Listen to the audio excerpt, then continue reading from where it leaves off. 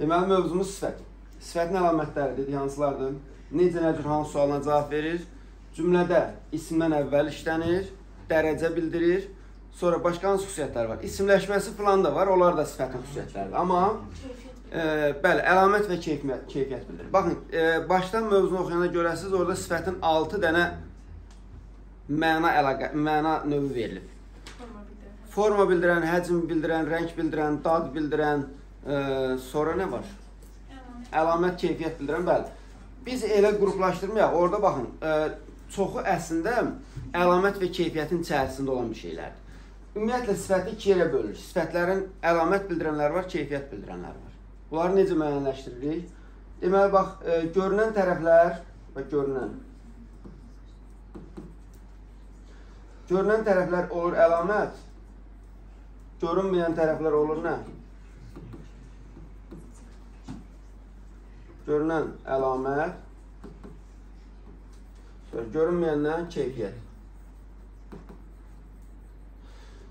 Məsələn, e, bir neçə bax adi forma bildirənlərə baxaq. Forma bildirənlər hansılardır? Əyri, düz, İncə.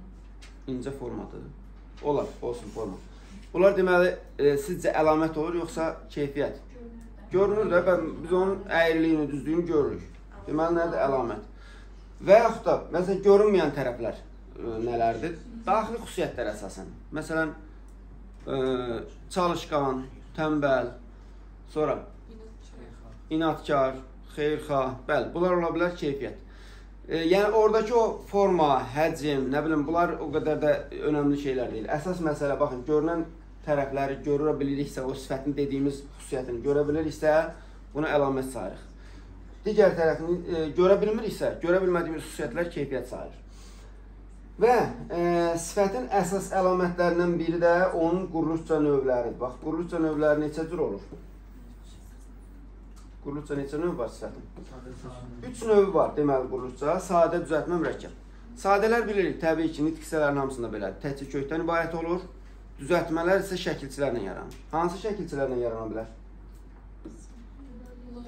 O məsələn adlardan iki yerə bölünür də. Adlardan sifət düzəldənlər, feillərdən sifət düzəldənlər. Birinci adlardan sifət düzəldənlərə nə deyə bilərik? Məsələn, l, l, l, l, s, s, s, s, dakı, k, sonra I, daha doğrusu i, vi, sonra cıl, lıq, kar, keş və s. Yəni hamısını yazmayım, onsuz da nümunələrə baxacağıq. Bax bunların içərisində indi məsələn bax l şəkilçisi nə hansı sifətlər yarada bilər? Vəfalı, ağıllı, düzdür? Sız şəkilçisi, vəfasız, ağılsız, duzsuz. Burada xüsusən bax bu iki şəkilçiyə önəm verək. Bax dakı kir şəkilçilərinin bir neçə xüsusiyyəti var. Bu şəkilçilərlə bağlı çoxlu testlər tərtib olunur. Çoxlu testlər qarşımıza çıxır. Məsələn, bunların əsas əlamətindən biri odur ki, biz sifətin bayaq dedik, 3 sualı var. Necə, nə cür, hansı? Bunlar yalnız bir dənə sualına cavab verir, o da hansıdır? Hansı? Məsələn, nümunə deyək, tutaq evdəki evdəki qonaq. Sual veririk. Hansı qonaq? Düzdürmü? Cümlədə təyin olur. Necə nə cür, hansı sualına e, necə nə cür nə idi, bağışlayın. Hansı sualına cavab verir? Necə nə cür sualına cavab verə bilməz. Yalnız bir sualına cavab verir, o da hansı? Bəzən, bəzən biz e, səhv olaraq e, dakı şəkilçisindən yaranan sözlərə hardakı sualı veririk. Hardakı. Bax belə bir sual yoxdur. Ümumiyyətlə yoxdur. Nə morfologiyada yoxdur, nə sintaksisdə yoxdur. Hardakı sualın ümumiyyətlə işte. Ona elə belə gündəlik onu küçədə, bazada verə bilərsiniz. Amma qrammatikaya ki gəldiniz, qrammatikadan söhbət gedirsə, orada hardakı sualını ümumiyyətlə işlətmirik. E, dakı şəkilçisindən düzələnlər, k şəkilçisindən düzələnlər yalnız hansı sualını verə bilərik bunlara. Yalnız hansı sualını verə bilərik. E, başqa, bir də bu şəkilçilərin başqa bir özəl xüsusiyyəti də var idi. Qrammatik şəkilçilərdən sonra işlənmək xüsusiyyəti. Məsələn, deyirik ki, e, Məktəblərdəki. Evimizdəkilərdə. evimizdəki, evimizdəki, həyətimizdəki yazaq da. Həyətimizdəki. Deməli, həyət sözün kökü imiz mənsubiyyət şəkilçisi, daki şəkilçisi də deməli sifət düzəldən şəkil. Ki şəkilçisi də belədir. Qrammatikdən sonra işlənə bilir. Sonra Sız şəkilçisi də belədir. Bax sifətdə 3 şəkilçi belədir. Bir də isimlərdə hansı şəkilçi idi? Gil şəkilçisi, bəli. Bu 4 şəkilçi qrammatik şəkilçisindən sonra işlənə bilər. Biri isimlərdədir, üçü də sifətdə. Deməli bu xüsusiyyəti var. Bir dənə bir başqa bir e, məqama baxaq. Bax ivi şəkilçisi ilə bağlı.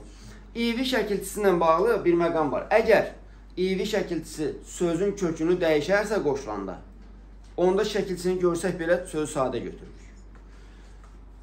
E, məsələn işlədək də Məsələn, bax, e, dilimizdə var kimya sözü, kimya. Məna sözü var, məna. Sonra e, yox, o yox. Məsələn, buna baxaq, kimya sözünün necə e, şəkilçi qoşulanda olur, necə? Kimya deyil. Bax, A saitini Ə saitinə keçirdi, düzdürmü? Belə olan halda bunu kökə şəkilçi ayıranda, ayıranda da e, ayıranda ayırmırıq. Yəni V şəkilçisi bir yerdə kökün üzərində gedir. Sadə sözdür. Əgər yox, e, V şəkilçisi sözün kökünü dəyişməzsə, onda mütləq e, deməli ayrı şəkilçi kimi götürürlər. Məsələn, baxın başqa bir söz yazaq. Dairə. Dairə, bir dənə də artırırıq nə? V. Sözün kökü necədir? Dairə.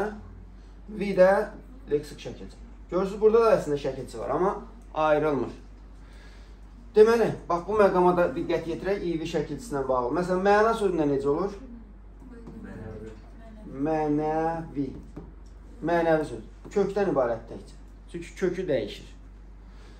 Belə, e, başqa bir e, deməli, şəkilçi tipi hansı idi? Feillərdən sifət düzəldən şəkilçilər. Onlar hansılardır? Deməli, məsələn, bir neçəsini yazaq. Ağan, ağan əyən, ğın, sonra ıq, elə ğın, qındır da fərqi yox.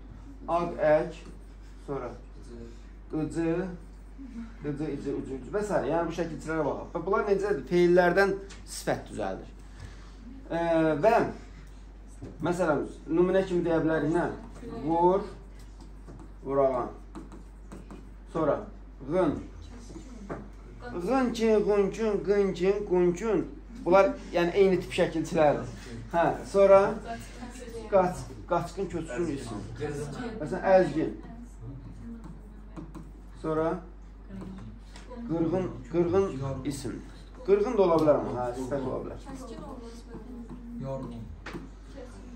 Olar, olar, yorğun olar məsələn. Bax bu şəkilçilər görürsünüz burada deməli feilləri artırılıb sifət yaradır. Sonra ıq şəkilçisi məsələn çapıq çap çapıq, yan yanıq, nə bilim, aq şəkilçisi. Məsələn çökək, aq əkdir də. Çök, çökək. Çökək yer. Qorxaq, qorxaq adam, bəli. Deməli görürük ki, feilləri artırılıb sifət yaradır. Icı məsələn, kəsici. Qırıcı sözü, bax qırıcı sözünü xüsusən yadda saxlayın. Qırıcı isim deyil, ha, bax sonra gəlib deyəsiniz ki, müəllim, bu qırıcı sözü burada isimdir. Təyyarəyə qırıcı deyiriksə, o sifətin bir növ isimləşməsidir. Ya o qırır da onun xüsusiyyəti odur. Bildiniz? Qırıcı sözü yadda xüsusən saxlayın ki, o e, sifət. Belə, yəni bu şəkilçilər bundan ibarətdir. Sonra mürəkkəb sifətlərdə, demək mən təkrarçılıq e, kimi olmasın. Mürəkkəb sifətlər onsuz da biz isimlərdə nə öyrənmişdiksə demək olar ki, eynidir. Və yazılışları necədir? İsimlərdə nə demişdik? Neçə cür yazıla bilər sifətlər? 2 cür. Bitişik və defsi. Ayrı yazılan nə isim yoxdur, nə sifət yoxdur. Bunu həmişə yadda saxla. E, defsdə yazılanlar, bitişik yazılanlar iki yerə bölünür də. Bitişik yazılanlar hansı yolla yaranırdı isimlərdə? Müxtəlif mənalı. Bax, mənsubiyyəti zadı qoyun qırağa. Mən sizə keçən dəfə də dedim. Mənsubiyyətdir, nə bilim, bir tərəfi düzəltmədir, nə bir tərəfi sadədir, bir tərəfi nə Bunlar hamısı boş şeylərdir. Əsas məsələ bitişik yazılmanın əsas səbəbi odur ki, müxtəlif mənalıdır. Ola bilər, məsələn, deyə bilərik ki, e, məsələn, alnı açıq. Görürsünüz, bir tərəfdə mənsubiyyət var, bir tərəfi düzəltmədir. Düzdürmü? Və yaxud da açıq qəlbli. Açıq ürəkli. Hər iki tərəfindən leksik şəkilçi var. Bunların, yəni bunların heç bir mənası yoxdur. Biçi yazılmaya kömək edən əlamətlər deyil. Əsas məsələ biçi yazmanın yeganə dedik səbəbi nədir? Fərqli mənalar bildirir. Tərəflər bir-birinə nə yaxın deyil, nə əks deyil, nə eyni sözün təkrarı deyil. Nə də bir tərəf həyata işlənməyən deyil. Amma o dediklərimiz, saydıqlarımız e, defsinə yazılanlar hansılardır? Əks mənalı, yaxın mənalı, eyni sözün təkrarı və bir də mən sizə keçən dəfə də demişdim dərs zamanında. Bunların heç e, intonasiyasından da tutmaq olar ki, bu e, biçi yazılır yoxsa defsdə yazılır. Məsələn, alın açıq sözünü bir dəfə başlayırıq alın açıq. Arada fasilə vermirik. Alın açıq. Ürəkli. Amma defsən yazılanlara necədir? Defsən yazılanlara fikir verək. Məsələn, qırıq qırıq. Ləngər verir də, yəni qırıq qırıq. Bu e, qeyri müəyyən. Göz fasilə var arada. Onlarda bilir ki, bunlar defsən yazılır. İndi e, sifətlərin bax e, bir dənə defsən yazılanların içərisində demək o birlər təkrarçılıq olmasın demirəm. Defsən yazılanların içərisində e, yadda saxlayaq? Qeyri sözü.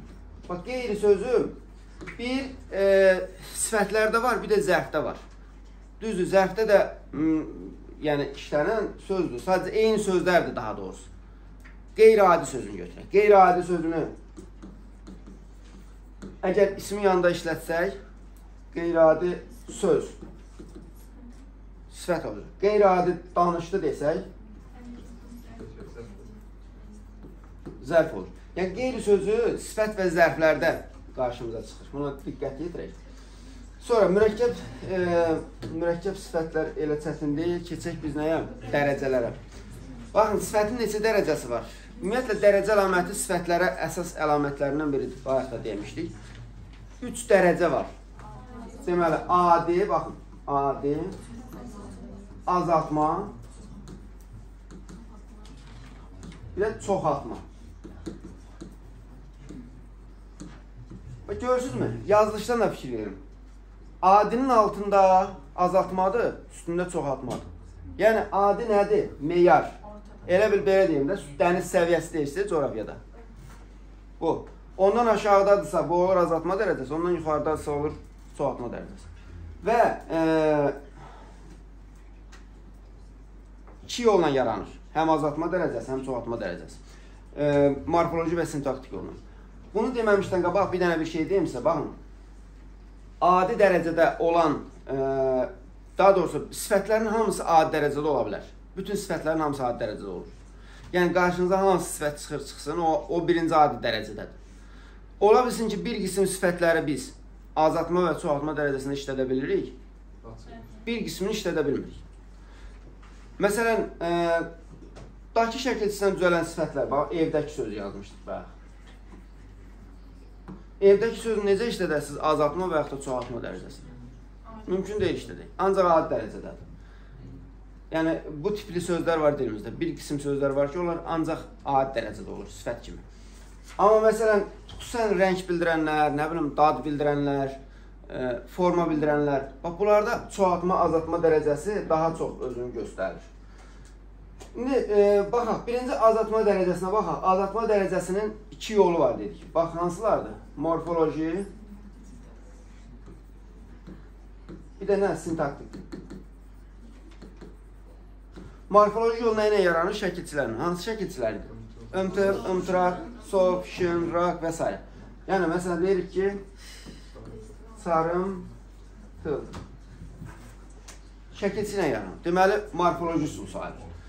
Və yaxud da, e, indi baxaq sintaktik üsullar da, onsuz da onlar elə çətin deyil. Hansı sözə ki, o şəkilçilər qoşulur, məsələn, sarışın olsun. E, hansı şəkilçiyə ki, e, şəkilçiyə ki, hansı sözə ki, şəkilçilər qoşulur, deməli, e, onlar azaltma dərəcəsində işlənə bilir. Bir də var, indi sintaktik üsula baxaq. Sintaktik üsul azaltma dərəcəsində nə ilə yaranır? Sözlər. Hansı sözlərdir? Məsələn, alan, açıq, kəm, təhər.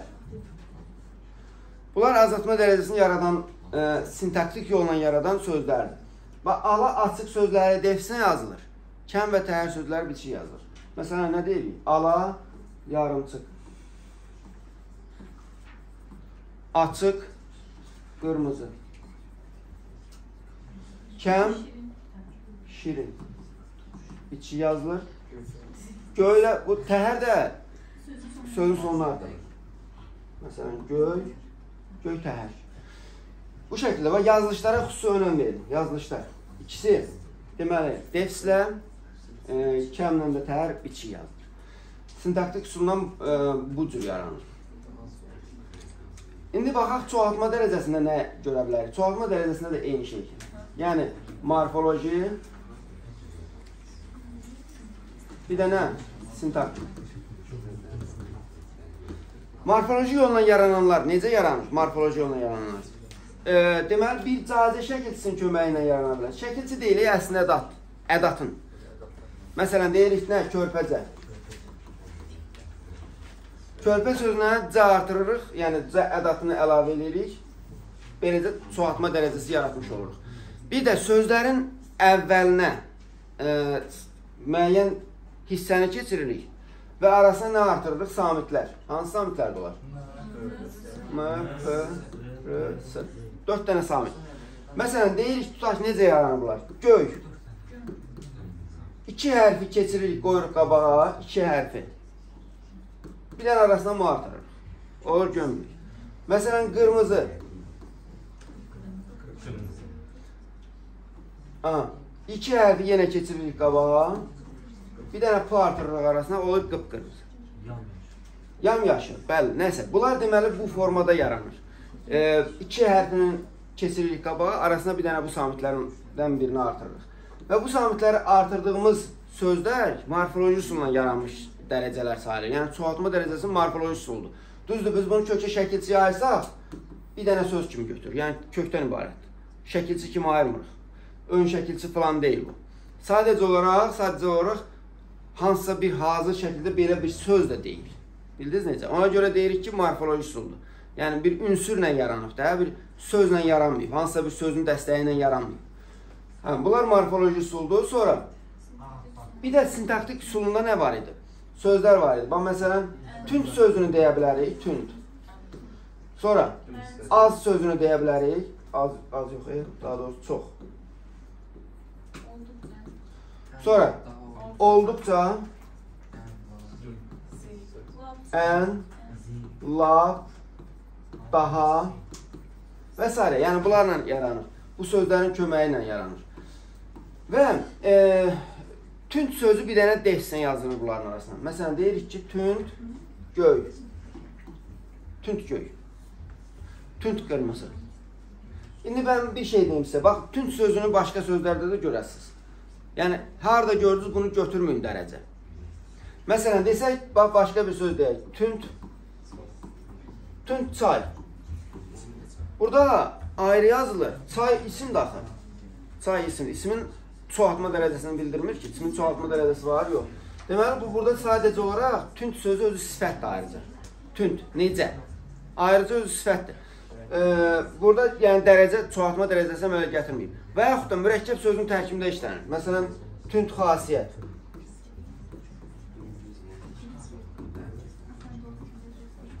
Aha.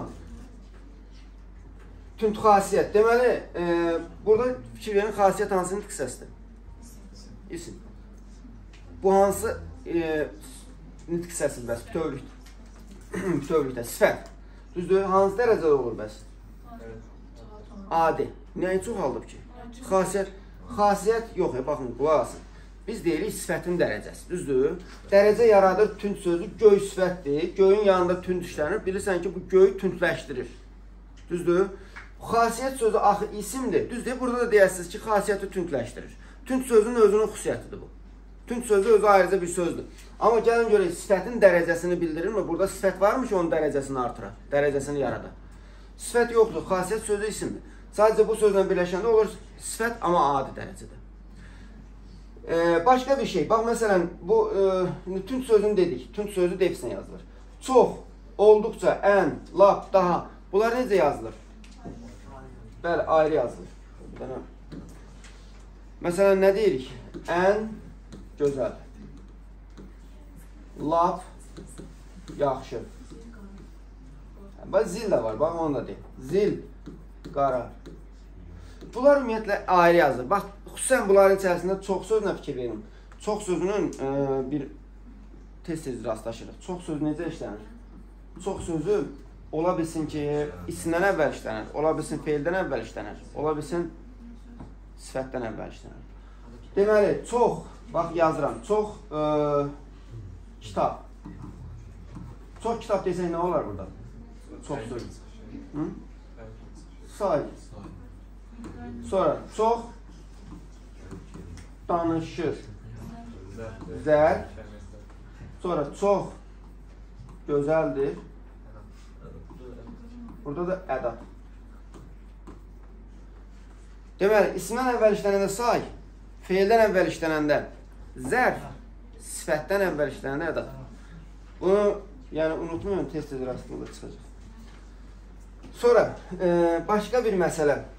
Biz nə dedik? Hə, mən sizə bir də açıq sözlərlə bağlı bayaqki məsələni deyim. Bu hissəni silin bir dənə. Bax, e, açıq ala sözləri də bayaq tünd sözündə dediyimiz kimi hər sözün yanında işlənəndə dərəcə belə deyim, azaltmır, dərəcəsini yaratmır.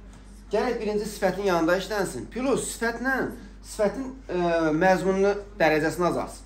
Və adi başqa bir sifətlər var. Tutaq ki, ala ala nə? Ala bula. Ala göz olsun. Ala gözdə göz nədir? Hansının hissəsi? İsim. Sadəcə bu ala sözü bununla birləşib mürəkkəb sifət yaradıb. Ala-bula sözündə baxın, ala-bula sifətdir, necə? Amma çox e, azaltma dərəcəsi yaratmayıb, yəni azaltmayıb heç nəyə. Bulanın biraz az olduğunu bildirmir ki, ala-bula sadəcə yaxın mənalı sözlərdir. Və yaxud açıq sözü, məsələn deyirik ki, açıq, aşkar. Bax, hepsindən də yazılır, bizi çaşdırır. Aşkar sözdə sifətdir, necə? Açıq sözdə sifətdir. Amma burada sifətin dərəcəsini azaltma, azaltma dərəcəsini yaratmayıb. Açıqla aşkar sözü bir növ yaxın mənalı sözlərdir. Açıq-aşkar hadisədir. Bax, məsələn, fikirləşir ki, qırmızı, açıq qırmızı. Qırmızını biraz açıq, açıqlaşdırır, yəni tonunu azaldır, düzdür? Tonunu azaldır. Burada aşkarın birazca tonunu azaldır. Və yaxud da açıq aydın sözü var.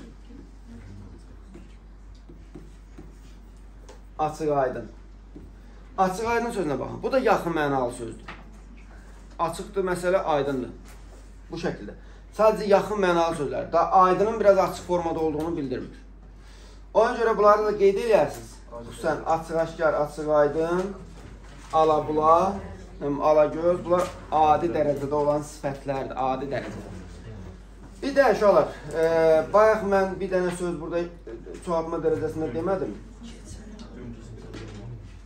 Düm sözü, bax, düm sözündən yaranır. Düm. Düm necə yazılır? Çoxaltma dərəcəsində var. Düm bitişik yazılır, amma məsələn, düm ağ sözündə. Düm ağ. Hı? Düm ağ sözündə. Bax, burada düm hissəciyi var, hissəciyi var, düm sözü var. Amma dümdüz sözündə, bax, düz, düz. Bunu bax, necə dedik? İki samiti keçirilir qabağa, düz. Bir dənə də mu artırılır. Amma burada düm yoxdur. Bu, baxın, bu dümdüz, dümağ sözü sintaktik dümdüz morfoloji yolla yaranır. Dümdüz morfoloji yolla yaranır. Çünki burada düm yox, dümdüzdə düm yoxdur. Düm kimi səslənən ifadə əslində bayaq dediyimiz o qıpqırmızı, sapsarı, yamyaşıl, o tipli yaranır. Bax, düz sözün iki samiti keçirilib qabağına, bir dənə də mu artırılıb ortasına. Düm kimi səslənsə də orada düm yoxdur. Amma düm ağda düm var. Keçəkmi biz e,